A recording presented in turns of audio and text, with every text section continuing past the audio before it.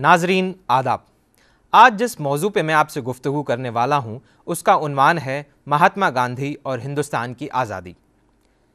गांधी जी के पैदाइश से 12 साल पहले अठारह अठारह की बगावत हुई थी और हिंदुस्तान में बरतानवी सरकार कायम हो चुकी थी।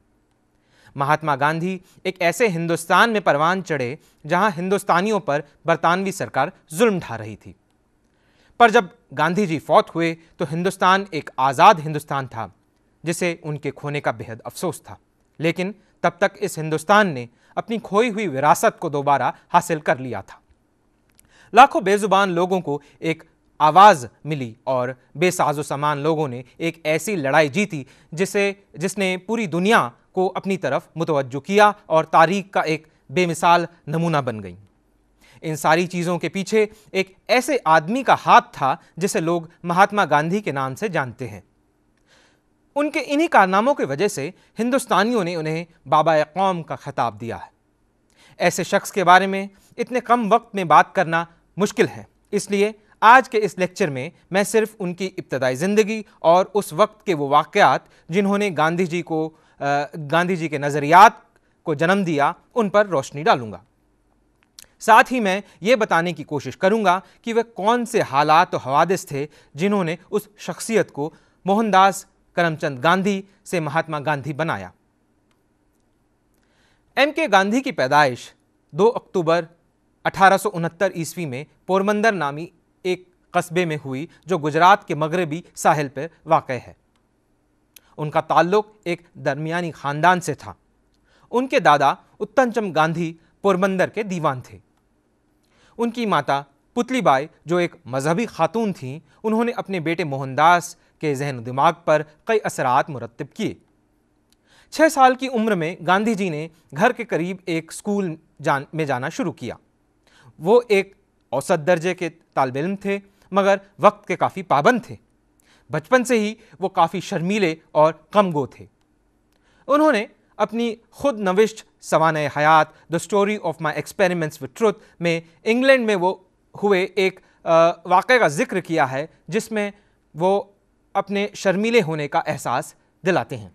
हुआ ये कि उन्हें इंग्लैंड में एक छोटी सी महफिल में बुलाया गया था, जहाँ उन्हें खिताब करना था। हसब रिवायत गांधी जी अपनी तकरीर लिख कर ले गए थे, लेकिन वहाँ पहुंचकर यह पता चला कि यहाँ अपनी तकरीर पढ़ना मायूब समझा जाता है। लिहाजा गांधी जी ने अपनी तकरीर किसी और से पढ़वाई और ख़ुद ये हिम्मत न कर सके कि उन लोगों को खिताब करें। यह था गांधी जी का गांधी जी के शर्मिलेपन का आलम। जब गांधी जी सात साल के थे तो उनके वालिद करमचंद गांधी पोरबंदर से दीवान की नौकरी छोड़कर राजकोट चले गए। वहाँ उन्हें जल्द ही फिर दीवान बना दिया गया। गांधी जी के बचपन में बहुत से ऐसे वाक़ात पेश आए जिन्होंने उन्हें परेशान किया और उनके दिमाग में सवालात खड़े किए। यही वो उलझने और सवालात थे जिनकी झलक महात्मा गांधी के फ़िक्र फ़लसफ़े में नज़र आती है। इस सिलसिले में कुछ वाक़ात का ज़िक्र मैं आपसे करना चाहता हूँ। मोहनदास और उनके भाई करसन दास प्राइमरी स्कूल में पढ़ने जाते थे। एक बार ऐसा हुआ कि स्कूल में खेल दिखाने वाला आया। उसने कुछ तस्वीरें दिखाई, जिसमें एक तस्वीर रामायण के श्रवण कुमार की भी थी, जो अपने अंधे वालदेन को अपने कंधे पर लिए जा रहा था। इस तस्वीर और श्रवण कुमार की कहानी ने छोटे मोहनदास पर अनमिट नकूश छोड़े। उसी ज़माने में उन्होंने हरीश चंद्र नाम का एक नाटक देखा। इससे वह बहुत मुतासर हुए और इस नाटक से उन्हें सच्चाई के लिए राह में आने वाली तमाम मुश्किल से लड़ने का हौसला मिला। मोहनदास की ज़िंदगी में एक और अहम वाक़ तब हुआ जब एक अंग्रेज़ स्कूल इंस्पेक्टर स्कूल में बच्चों का इम्तहान लेने आया था। मोहनदास ने कुछ गलत लिखा था जो उनके उस्ताद ने देख लिया था। उस्ताद ने इशारे से उन्हें दूसरे बच्चे की स्लेट से देखकर गलती ठीक करने का, करने की हिदायत दी, पर मोहनदास ने उस हिदायत को नज़रअंदाज कर दिया और बाद में इसी के लिए उस्ताद ने उन्हें सज़ा दी। मोहनदास के घर में सफ़ाई के काम के लिए एक आदमी आता था। उनकी माँ पुतलीबाई ने उन्हें यह कहकर उस आदमी से दूर रहने की हिदायत दी, कि वो एक अछूत है। ये नन्हे मोहनदास को बुरा लगता था और वो अपनी माँ से बहस करते थे कि जब मज़हब की मज़हब किसी को अछूत करार नहीं देता तो किसी दूसरे इंसान को छूना गुनाह कैसे हो सकता है? ये वो चंद वाक़ात थे जिनका गांधी जी की आइंदा ज़िंदगी पर गहरा असर पड़ा। सच्चाई, अदम तशद और छुआछूत की मुखालफत गांधी जी के फ़िक्र फ़लसफ़े की बुनियादी जुज़ हैं। और इनकी झलक झलक हमें इब्तदा, उनकी इब्तदाई ज़िंदगी से ही नज़र आने लगती है। गांधी जी की स्कूल की तालीम भी अभी पूरी नहीं हुई थी कि उनके वालद साहब का इंतकाल हो गया। जब वो तेरह बरस के थे तो उनकी शादी कस्तूरबा से हुई। अठारह में मोहनदास ने मैट्रिक के, का इम्तिहान पास किया और भावनगर के सामलदास कॉलेज में दाखिला लिया। उसी ज़माने की बात है कि उनके एक खैर खां ने उन्हें इंग्लैंड जाकर वकालत की तालीम हासिल करने का मशवरा दिया। उनके बड़े भाई को खुद ये मशवरा अच्छा लगा, लेकिन उन्हें परेशानी ये थी कि इस, इसका खर्च कैसे पूरा होगा। उनकी माँ को ये पसंद नहीं आया क्योंकि उन्हें लगा कि उनका छोटा बेटा एक अजनबी जगह पर नामालूम मसाइल और ख़तरात का सामना किस तरह करेगा। इसके अलावा मोट बनियाजात जिससे गांधी जी का ताल्लुक़ था, ने उन्हें धमकी दी कि अगर उन्होंने गैर मुल्क का सफ़र किया तो उन्हें और उनके ख़ानदान को बिरादरी से खारिज कर दिया जाएगा।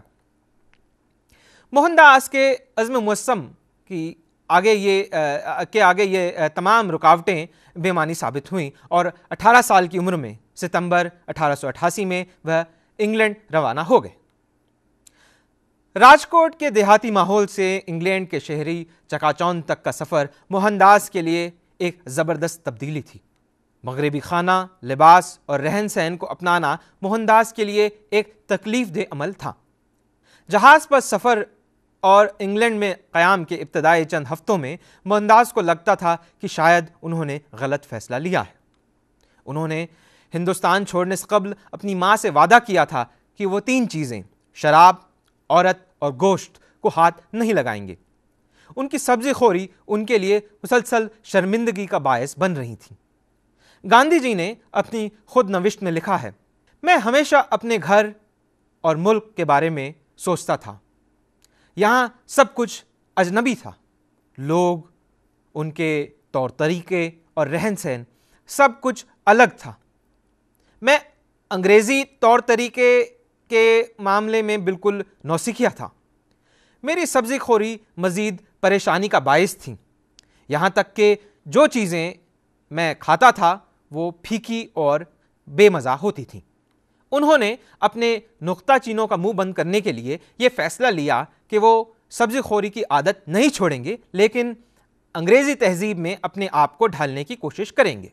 उन्हें यह भी महसूस हुआ कि नई सूट रक्सगा उन्हें आ, उन्हें जहरी तौर पर तो जेंटलमैन बना देंगी अंदर से लेकिन वो वही रहेंगे जो हैं। उनकी तबीयत खुद एहतसाब उनकी तबीयत में खुद एहतसाबी कूट कूट कर भरी थी। वो जो कुछ करते उसके बारे में सोचते थे कि मैं सही कर रहा हूँ या गलत और ज़मीर की आवाज़ पर फैसला करते थे। वो हमेशा अपनी गलतियों से सबक हासिल करते थे। तीन महीने के बाद वो आ, अपने पुराने ढर्रे पर वापस आ गए। इस दरमियान उनके अखराज में जो इजाफा हुआ उसकी भरपाई के लिए उन्होंने अपना खर्च कम करना शुरू कर दिया था। उन्होंने अपना कमरा बदल लिया अपना नाश्ता खुद से बनाने लगे और बस का किराया बचाने के लिए रोज़ाना आठ से दस मील पैदल चलने लगे। उन्होंने अपना खर्च बहुत कम कर लिया और उन्हें इस बात की खुशी हुई कि वो अपने भाई पर कम से कम माशी बोझ डाल रहे हैं। सादगी ने उनकी ज़िंदगी उनकी दोनों दाखिली और खारजी ज़िंदगी पर गहरा असर डाला। उनकी सब्ज़ी खोरी जो बायस नदामत थी, बहुत जल्द एक कीमती असासा बन गई। सब्ज़ी खोरी अब वालदेन की तरफ़ से आयत करदा एक मजबूरी नहीं बल्कि एक मिशन बन गई थी उनके लिए। उन्होंने रिसाला वेजिटेरियन में लगातार नौ मजामी लिख कर अपनी सहाफ़ती ज़िंदगी का आगाज़ किया और लंदन वेजिटेरियन सोसाइटी के मेंबर भी बन गए। इंग्लैंड में रहते हुए अठारह में गांधी जी ने पहली बार भगवद गीता का मुताला किया। इसके दूसरे बाब से वह बेहद मुतासर हुए, जिसमें बताया गया है कि कुर्बानी या नफ्स खुशी मज़हब की आला तरीन शक्ल है। गीता से उन्हें वो रोशनी मिली जिसकी उन्हें तलाश थी। इसने उनके लिए एक नई तर्ज ज़िंदगी के दरवाजे खोल दिए। एक दोस्त के मशवरे पर गांधी जी ने बाइबल भी पढ़ी। न्यू टेस्टमेंट उन्हें बहुत पसंद आया और सर्मेंट ऑन द माउंट यानी हज़रत ईसा की तकरीर, उन्हें दिल में उतर गई। बाइबल पढ़ने के बाद उनके दिल में अजीम पैगंबरों की सवानें पढ़ने का शौक़ पैदा हुआ और उन्होंने दुनिया के अहम मजाहब का मुताल शुरू किया। तमाम मजाहब का एहतराम करना, उनकी अच्छी बातों को समझना और उन पर अमल करना गांधी जी ने ज़िंदगी की इब्तदाई दिनों में ही सीख लिया था। ये ज़माना दानश्वराना सरगर्मियों और तहरीर और तकरीर की आज़ादी का था। नफ़रत के बजाय प्यार और बुराई के बदले भलाई का ख्याल उनके दिल में उसी ज़माने में परवान चढ़ा। यह ख्याल जनूबी अफ्रीका और हिंदुस्तान में उनकी सरगर्मियों का नागजीर हिस्सा बन गई। अठारह सौ इक्यानवे में उन्होंने वकालत का इम्तहान पास किया और हिंदुस्तान वापस लौट आए। वतन वापसी के बाद उन्होंने अपनी माँ की मौत का अफसोसनाक की अफसोस अफसोसनाक खबर सुनी, जो उनके इंग्लैंड क़याम के ज़माने में ही चल बसी थी।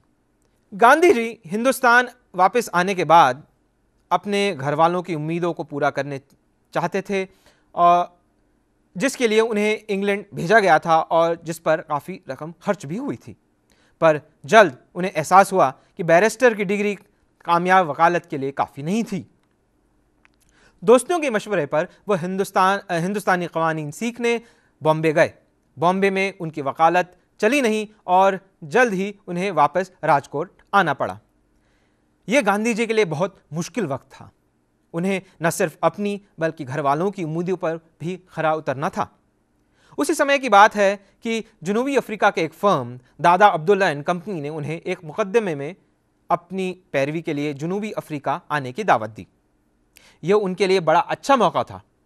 गांधी जी इसके लिए तैयार हो गए और अप्रैल अठारह सौ तिरानवे में जुनूबी अफ्रीका चल पड़े। उन्हें बहुत कम अंदाज़ा था कि जनूबी अफ्रीका में क्या हालात पेश आने वाले हैं। वहाँ उस शर्मीले, बेयार व मददगार, अकेले और ना तजुर्बेकार नौजवान का सबका उन ताकतों से पड़ा जिन्होंने उन्हें मजबूर किया कि वो वो अपनी अकदार की मदद से बदकिस्मती को तख्लीकी रूहानी तजुर्बे में बदल दें। गांधी जी को जनूबी अफ्रीका में जिस चीज़ का सबसे पहले एहसास हुआ वो था नस्ली जारियात का ालिमाना माहौल। हिंदुस्तानी, हिंदुस्तानियों की एक बड़ी आबादी जनूबी अफ्रीका में मुकीम थी। इनमें से कुछ तो ताजर थे और ज़्यादा तादाद मज़दूरों या उनके वारसिन की थी। ये तमाम बड़ी खस्ता हालत में थे।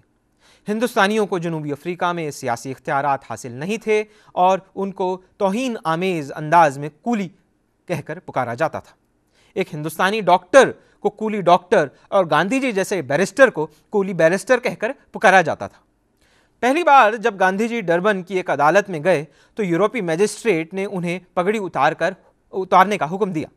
उन्होंने इनकार कर दिया और अदालत से बाहर आकर इसके एहतजाज में एक ख़त लिखा, जो एक मकामी अखबार में छपा।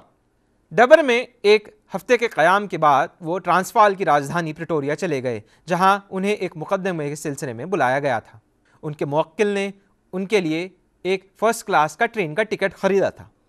हुआ ये कि तकरीबन नौ बजे रात में जब उनकी ट्रेन नेटल की राजधानी पीटर मैटिसबर्ग पहुँची तो एक गोरा मुसाफिर उनकी ट्रेन में दाखिल हुआ। उसने उस डब्बे में एक काले, यानी कि गांधी जी की मौजूद मौजूदगी पर एतराज़ जताया। रेलवे ऑफिसरों ने उन्हें थर्ड क्लास में जाने का हुक्म दिया। गांधी जी ने जब थर्ड क्लास में जाने से इनकार किया तो एक कांस्टेबल ने उन्हें धक्का मार के बाहर निकाल दिया और साथ ही उनका सामान भी बाहर फेंक दिया। यह बहुत सर्द रात थी। गांधी जी स्टेशन के वेटिंग रूम में सारी रात बैठे रहे और सर्दी से कांपते रहे। वो सोचते रहे कि क्या मुझे अपने हुकूक के लिए लड़ना चाहिए या हिंदुस्तान वापस हो जाना चाहिए? आखिर में उन्होंने फैसला किया कि अपने मकासद को हासिल किए बगैर वापस जाना बुजदिली होगी। उनका इरादा बहुत पुख्ता हो गया। उन्होंने फैसला किया कि वह जनूबी अफ्रीका में किसी भी नाइंसाफ़ी को कबूल नहीं करेंगे। उन्होंने तय कर लिया था कि वो बहस करेंगे, गुजारिश करेंगे, एहतजाज करेंगे, लेकिन नस्ली तकबर के आगे सर नहीं झुकाएँगे। वो बुजदिली जिसने उन्हें इंग्लैंड में एक तालब इल्म के तौर पर और हिंदुस्तान में बाद में एक वकील के तौर पर परेशान किया, अब ख़त्म हो चुकी थी। उन्होंने वक्त ज़ाया किए बगैर लोगों से रबता कायम किया और प्रिटोरिया, जहाँ हिंदुस्तान के मुसलमान ताजरों की बड़ी तादाद थी, वहाँ पर हिंदुस्तानियों की एक मीटिंग बुलाई। यहाँ उन्होंने पहली बार एक कामयाब आवामी तकरीर की। उन्होंने बिरादरान वतन को हर जगह यहाँ तक कि तजारत में भी सच्चाई से काम लेने का मशवरा दिया और उन्हें उनकी जिम्मेदारियों का एहसास दिलाया। गांधी जी ने यहाँ एक अहम बात कही। उन्होंने कहा कि हमारे मुल्क को इस गैर मुल्की सरजमीन पर, हमारे बर्ताव की बिना पर आंका जाएगा। उन्होंने कहा कि आप तमाम मजहबी इम्तियाज़ात और ज़ात पात को भूल कर एक अंजुमन कायम करें, जो हिंदुस्तानी बाशिंदों के मसाइल हल करे और उन्हें अपनी खदमात मुफ़्त मुहैया करे। जून अठारह के आखिर में वो हिंदुस्तान वापस जाने के लिए डरबन आए। इस मौके पर उनके मुवक्किल ने उनके लिए एक अलविदाई पार्टी का अहतमाम किया था। वहाँ गांधी जी ने एक मकामी अखबार, द नेटल मर्क्यूरी, में पढ़ा कि नेटल लेजिस्लेटिव असम्बली एक ऐसा कानून पास करने जा रहा है, जिसके बाद वहाँ के हिंदुस्तानी वोट देने के हक से महरूम हो जाएँगे। गांधी जी ने अपने मेज़बानों से कहा कि यह हमारे ताबूत में पहली कील है।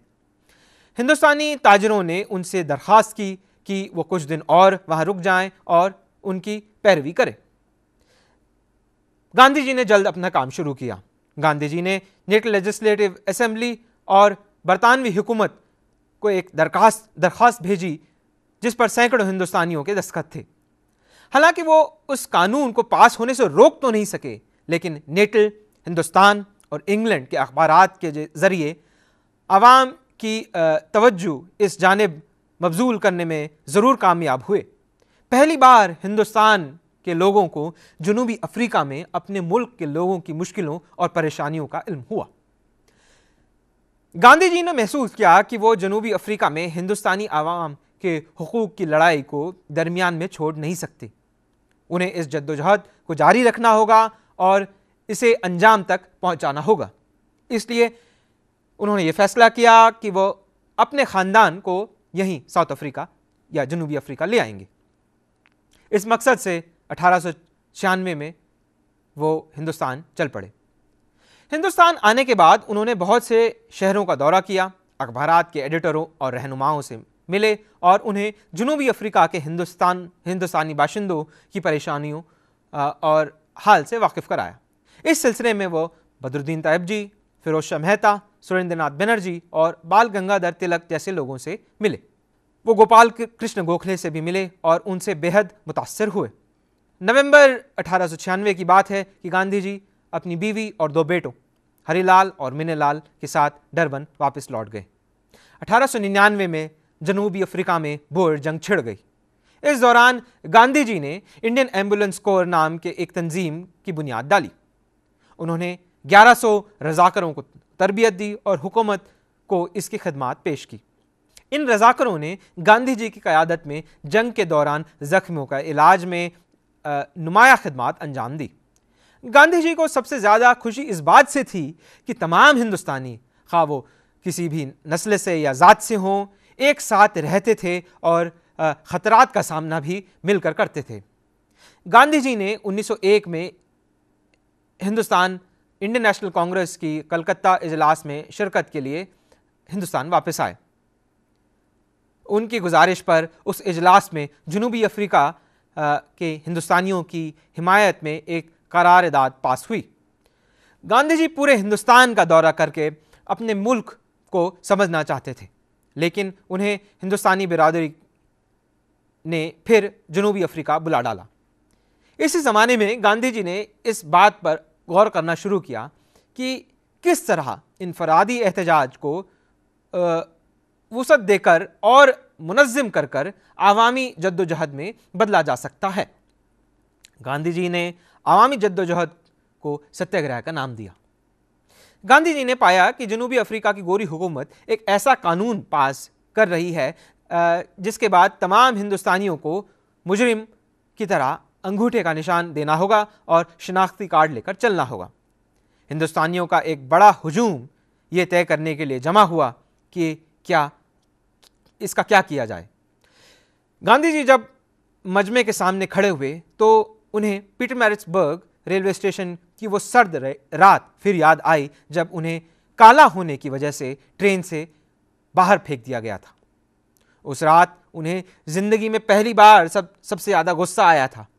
लेकिन उन्होंने अपने गुस्से पर काबू पाया और कोई लड़ाई झगड़ा ना करने का फैसला किया था। उन्होंने वहाँ जमा हिंदुस्तानियों को यही नसीहत दी कि वो नस्ली इम्तियाज़ पर मबनी कवानीन को मानने से इनकार करें और जो भी सज़ा दी जाए, वो कबूल करें। तशद का सहारा कतई न लें।